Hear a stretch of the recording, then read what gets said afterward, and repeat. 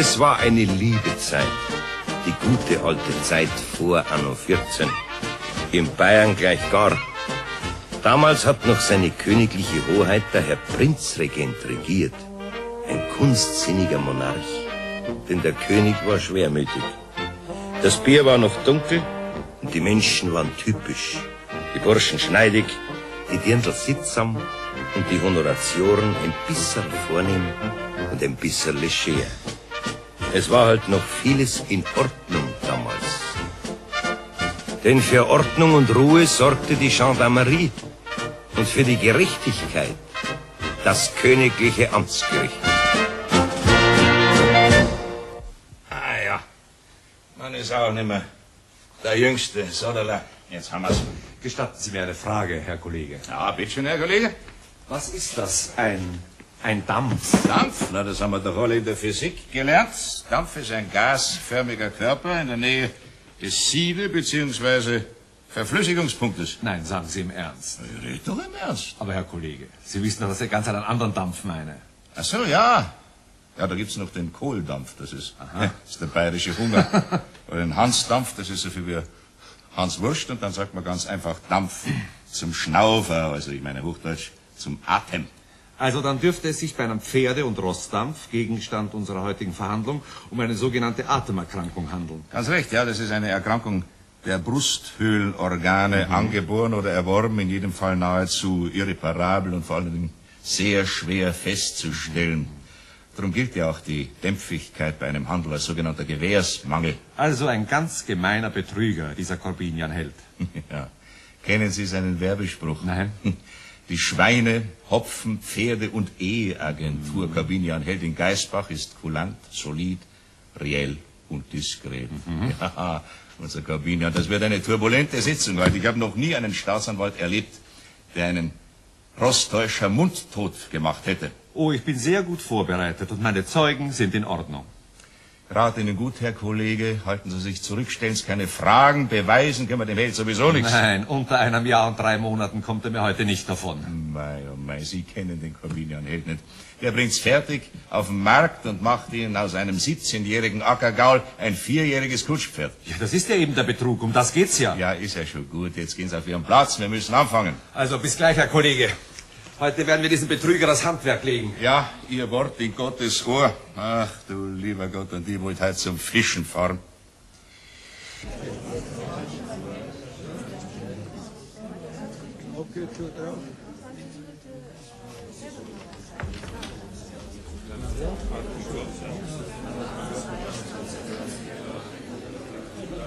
Ein geschäftstüchtiger Angeklagter steht heute vor dem Richter. Und die Herren Ökonomen der Umgebung zeigen großes Interesse. Gerechtigkeit, nimm deinen Lauf.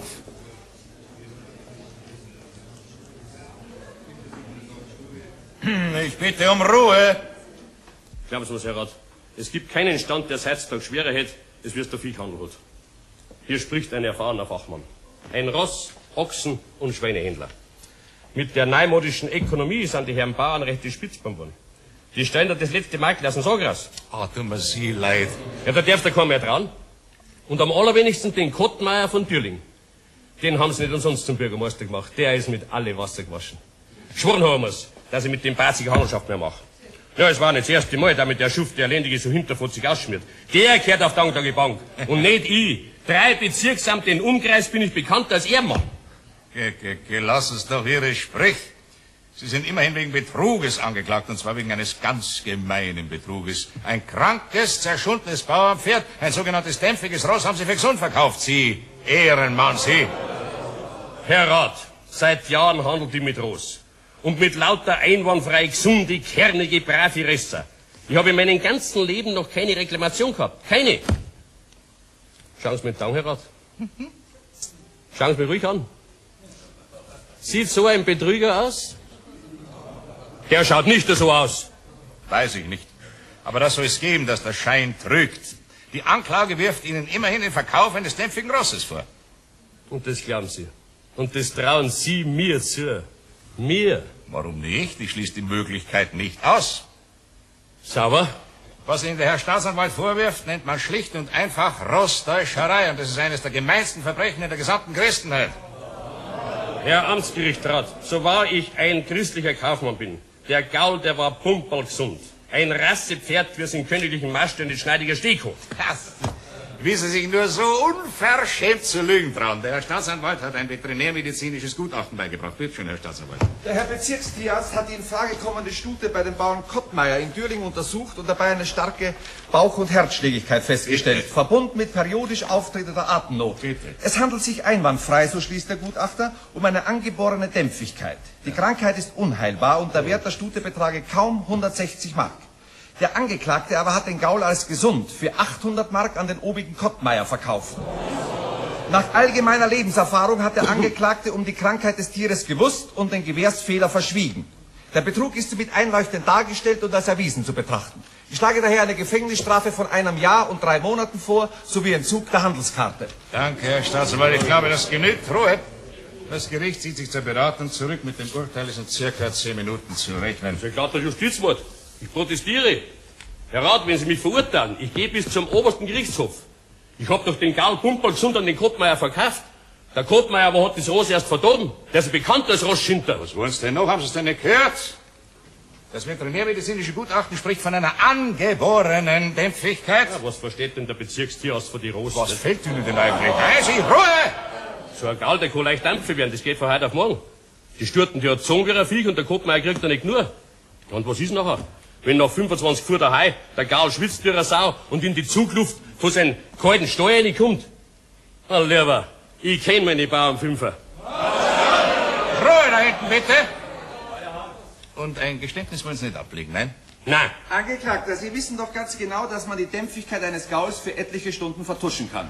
Ja, das ist ja das Heimtückische an der Krankheit, dass die Tiere zunächst völlig gesund aussehen, dass man überhaupt nichts anmerkt, wenn man mit gewissen Mitteln etwas nachhilft. Naja, wie her schon gehen, Herr Staatsanwalt. Aber wenn Sie mir sowas zutrauen, dann sind Sie ein ganz ein schlechter Mensch. Bitte? Ah, Menschenkenner habe ich sagen wollen, natürlich. Haben Sie mich? Haben Sie noch mal Glück gehabt, Held. Wachtmeister, rufen Sie mal den Zeugen Kottmeier herein. Rottmeier, hol. Ja, nur Herr Reder mit den Haderlumpen.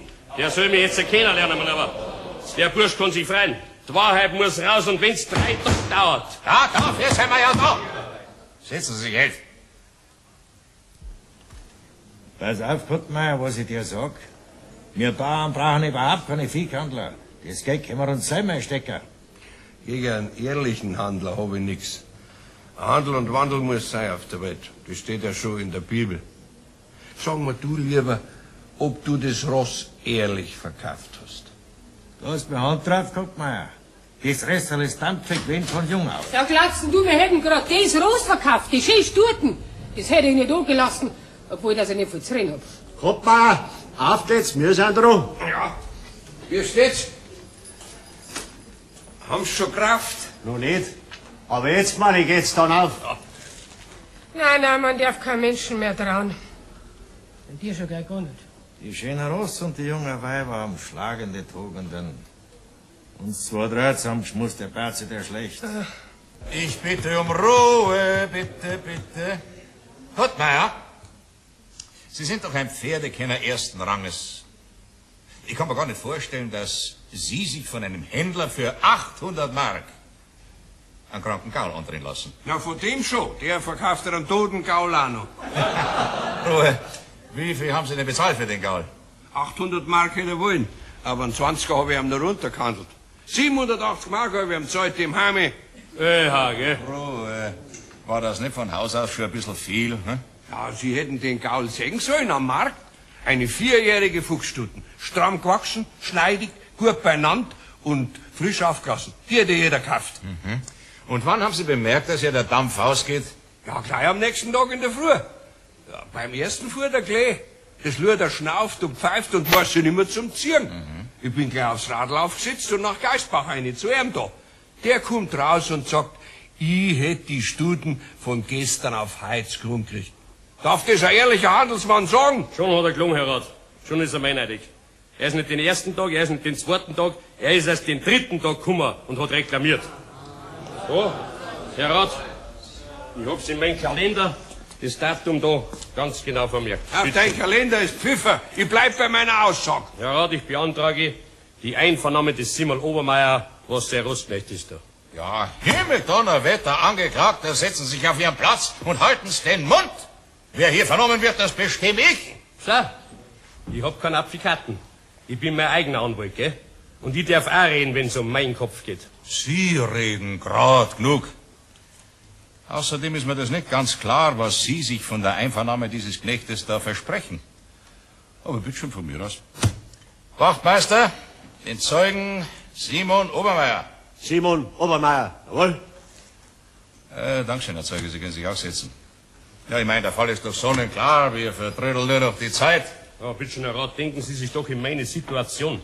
Ich kaufe und verkaufe im Jahr 100 Ross. Und seitdem ich das Geschäft betreibe, bin ich noch nie vor Gericht gestanden. So. Woher kennen wir uns denn dann so gut? Hä? Wegen dem Pfeiferldampf von die nicht, gell? Und das andere, das waren ja bloß so, so Kleinigkeiten. Und überhaupt haben sie mir ja meistens freisprechen müssen. Mangels Beweises, ja. Da waren aber recht wohlwollende Freisprüche drunter, mein Lieber. Herr Zeuge Simon Obermeier, Dienstknecht.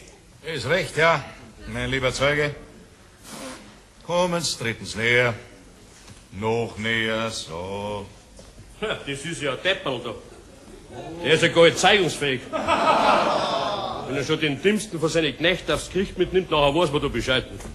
Sie hinterkünftiger Patron, Sie. Wieso? Jetzt weiß ich, warum Sie die Einvernahme des Knechtes verlangt haben. Sie... Na, kommen Sie halt her zu mir, Sie mal. Nein, nein. Kotmeier, was soll denn das? Entschuldigen Sie, Herr Rat. Der Simon ist der beste Mensch. Der ist gerade ein wenig schüchtern. Ein wenig schüchtern, ja, das sehe ich. Haben Sie denn keinen anderen Zeugen unter Ihren Dienstboten, hä? Der Simmel ist derzeit Rossknecht bei mir und der hat den Dampf als erster gemerkt. Das ist der richtige Zeuge. Na was, ein Depp ist er. Ja, da bist du ja du, ein Depp. Was sagst du Ruhe, da? Ruhe, sonst werde ich grattig. Hey, du setzt dich sofort auf deine Anklagebank und du Kotmeier auf die deine. Himmel, Donnerwetter, wir müssen doch schauen, dass wir weiterkommen. Jetzt kommen wir's heute endlich her zu mir, Simon. Wann haben Sie die Dämpfigkeit der neu erworbenen Stute festgestellt? Oh, auf Zeit, nur reden Sie halt. Ich hab halt nicht sehr viel Geduld, Sie. Wann haben Sie an der Stute den Dampf bemerkt? Wie der Bauer gesagt hat. Wie der Bauer gesagt hat, von Ihnen will ich's wissen. Nein, nein, ich sag nichts anderes. Das, was der Bauer sagt, das ist schon wahr. Das sind Zeigen, was, Herr Staatsanwalt? Ich verzichte auf eine Vereidigung des Zeugen. Es ist zum Verzweifeln. Ja, setzen Sie sich, Zeuge. Nein, nicht da. Da und über auf die andere Seite. Sie am Bauern auf die hintere Bank. Der Prozess ist so früh wie gewonnen. Der Rest sind nur noch Formalitäten. Ja, freuen Sie sich bloß nicht zu früh, Sie. Bei euch braucht der Richter mehr Geduld als der Pfarrer. Wachtmeister den Zeugen Adler. Zeugen Adra, jawohl. Ja, richtig, der Adler, der ist ja auch noch da. Ja, von denen habe ich ja die Stürten um 780 Mark gekauft. Jetzt kann ja überhaupt nichts mehr schief gehen. Geh weiter, gib's auf, guck mal. Sagt Wahrheit. Ja, es kann jedem passieren, dass er mal ein Gaul krank wird. Deswegen bist du aber nur ein Ehrenmann. Nur länger darfst du das nicht. Nur einen Unschuldigen darfst du deswegen nicht Strafmasse werden lassen, verstehst du? Angeklagter, Sie haben den Zeugen keine Ratschläge zu erteilen. Schaust, dass Sie lieberkommen auf Ihren Platz. Wenn ich Sie noch einmal vermahnen muss, zahlen Sie mir 10 Mark in die Gerichtskasse. Ja, ich sag sowieso nichts mehr, nicht? Der Zeuge Adra, Georg Adra Bauer von Adering. Ist gut, kommen Sie her, Zeuge. Hoppala. Jetzt, jetzt sind die 10 Mark fällig. Gell, notieren Sie, Schreiber. Herr Zeuge, wie teuer haben Sie dem Angeklagten die Stute verkauft? Gar nicht billig. 145 Magel hat er mir gezahlt für das Ross. Was? Wie viel? Ja, ja. Ein guter Rostmetzgerpreis ist das. 145 Mark für eine dampfige Sturten. Ja, du Hoderlum. Ja, du schönheiliger Spitzbub. 725 Mark hast gekriegt und die Garantie hast du mir gegeben. Ich hab dir keine Garantie gegeben. Herr Rat, hohes Gericht, ich schwer 100 Eide, 1000. Ich hab die Sturten als Pumperlschunds Pferd vom Adler gekauft. Ich hab 725 Mark gezahlt und die Garantie hat er mir gegeben. Existiert denn kein Kaufvertrag? Ja, woher? Beim Fischhandel, da gilt doch der ehrliche Handschlag. Passt, passt, passt, nicht? 725 Mark zum dritten und letzten Mal. Ich habe keine weiteren Fragen. Ja, Vertrödeln wir nicht die Zeit. Herr Staatsanwalt, bitte beginnen Sie mit Ihrem Plädoyer. Hohes Gericht, ich neige zwar nicht zu der Auffassung, dass wer mit Pferden handelt, über kurz oder lang ein Rosttäuscher wird. Aber im vorliegenden Fall haben wir es nicht mit der üblichen Spitzbüberei zu tun, sondern mit einem ganz gemeinen Betrug. Ah, halten statt, Herr Staatsanwalt. Ich habe noch einen Beweis für meine Unschuld. Was erlauben Sie sich denn, Angeklagter? Sei Bayerin, sei Eheweib soll schweren. Ich verlange es. Weil eine Frau hat am Ende noch mehr Religion im Leib, es wird der Bandit, der Schlechter. Ich verzichte auf die Zeugin, die Beweisaufnahme hat eindeutige Ergebnisse gebracht. Aber bitteschön, Herr Rat, das doch nicht jeder an Meinheit schweren heute. Ich bin doch unschuldig. Sei fix total unschuldig. Ja, Herrschaft, seid noch einmal. Sie machen es einem aber schwer. Na ja, mir aus in Gottes Namen. Wachtmeister, rufen Sie die Bäuerin rein. Die Bäuerin, jawohl. Dankeschön, Herr Rat. Jetzt kommt die Wahrheit an den Tag. Ich spür's. Das war nicht das erste Mal, dass das Weib ehrlicher war. Das wäre so ein meineidiger Schuft. Hey, Herr! Herr Rat, da haben Sie meine Hand. Sie müssen mir ja doch nur freisprechen heute. Schlagen Sie eh. Das Recht ist auf meiner Seite. Das Recht lässt sich nicht aushandeln, ich danke. Setzen Sie sich auf Ihren Platz und halten Sie den Mund. Ja, wieso? Impertinent! Und Sie, Zeuge Adra, setzen sich auch. Jawohl, Herr Rat. Die Zeugin Adra Maria, Bäuerin von Adering. Ja, ist recht. Kommen Sie her zu mir, Frau Zeugin. Grüß Gott, Herr Richter. Ist gut, Bäuerin. Herr Staatsanwalt, bitte befragen Sie die Zeugin nie. Ich mag nicht mehr. Ich, ich lass mich versetzen. Frau Zeugin, treten Sie näher. Beantworten Sie mir meine Fragen. Erstens, war die Stute, die Sie am 9.7. verkauft haben, und zwar an den Angeklagten verkauft haben, war die gesund oder krank? Schwer kann Meinheit, Bayerin. Der Meinheit ist ein größere Sinn, das wir 20 Todsünden. Himmel, Donnerwetter, Angeklagter! Wie oft soll ich Ihnen noch sagen, dass Sie den Zeugen keine Anweisungen zu geben haben? Und Sie, Sie hören mir nicht auf den Angeklagten, sondern beantworten nur die Fragen des Herrn Staatsanwalts. Mein Gott, was soll ich denn sagen? Heiliger Schützengel, steh mir bei, dass ich nichts falsch mache. War die Stute krank oder gesund? Unser Liesel. Mei, das ist ein Armsluder gewesen. Gewiss ein schneidiges Ross, aber schon als Zweijährige ist ihr der Dampf ausgegangen. Bayerin! Zweitens, für welche Summe haben Sie die Stute veräußert? Für 100 Mark. Hoppla. Jetzt haben Sie sie verfangt. Erinnern Sie sich an die Summe genau? Ja, freilich. 100 Mark hat ihm der Handler gegeben, hat der Mo gesagt. Mir ist er ein wenig wenig vorkommen. Hat er mehr gekriegt, gell? Mir sagt er ja die Wahrheit, nie der Schlawiner. Wie viel hast du mir nachher unterschlagen, ha? Jetzt sei noch grad Staat! Wegen die 45 Mark ist doch nicht wert, dass du Theater hermachst. Ja, wo ist das wert? Du machst mir ja nicht zum ersten Mal so. Als Bayerin rackerst du und rackerst mit den Ohren und musst froh sein, wenn's der Bob Pfenning auf Zeiten bringst. Und er lässt mir gleich 45 Mark verschwinden. Dabei weiß ich gar nicht, wo er das Geld hinbringt. Der Hodel und der schlecht. Ja, das gehört doch alles nicht hierher. Wenn wir streiten wollen, dann machen sie es daheim. Und den Weiberteufel hat man auch er zugeschmust. Für das kriegst halt nichts mehr. Ja, von dir kriegt man freilich nix.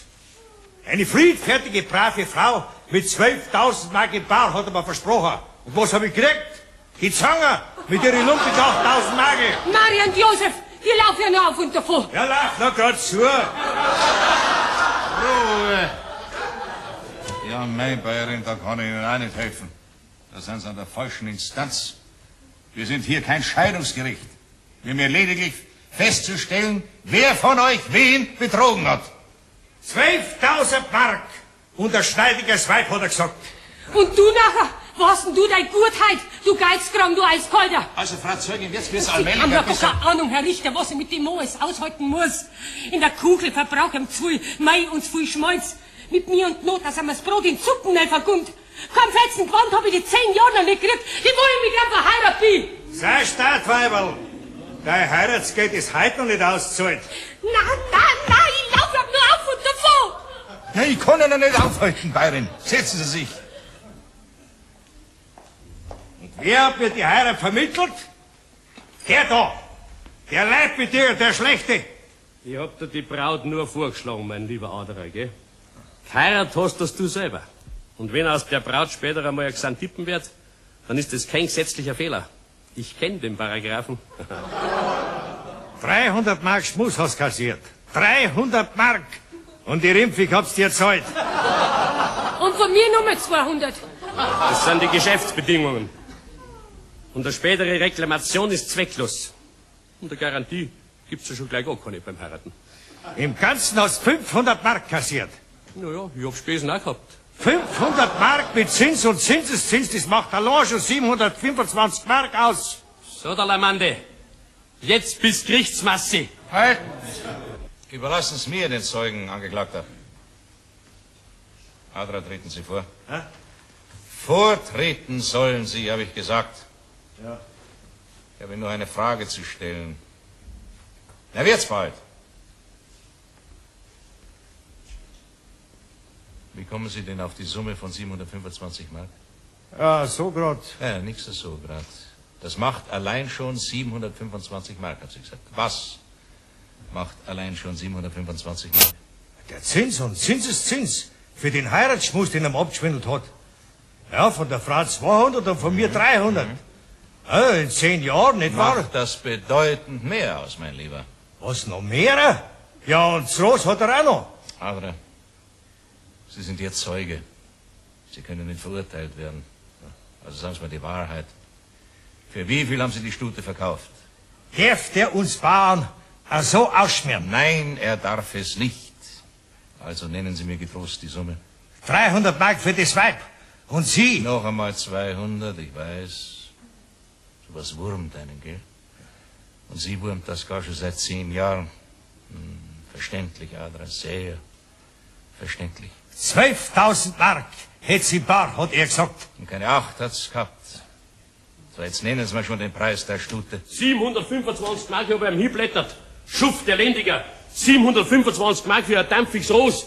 Ich rimpfig ist saubläs. Jetzt sind wir quitt. Na, endlich. Danke, Herr Zeuge, Sie können sich setzen. Und Sie? Sie müssen mich freisprechen. Ja. Leider.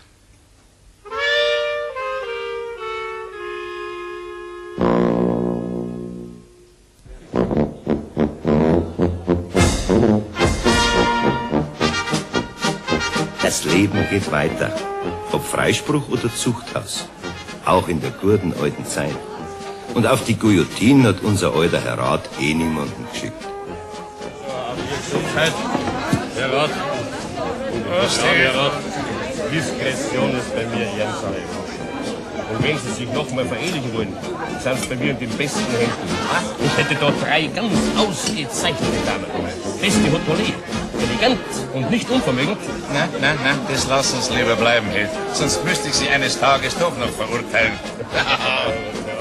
Eine liebe Zeit. Trotz der Vorkommnisse. Menschlich halt. Und darum kommt es immer wieder zu diesen Szenen im königlich bayerischen Amtsgericht.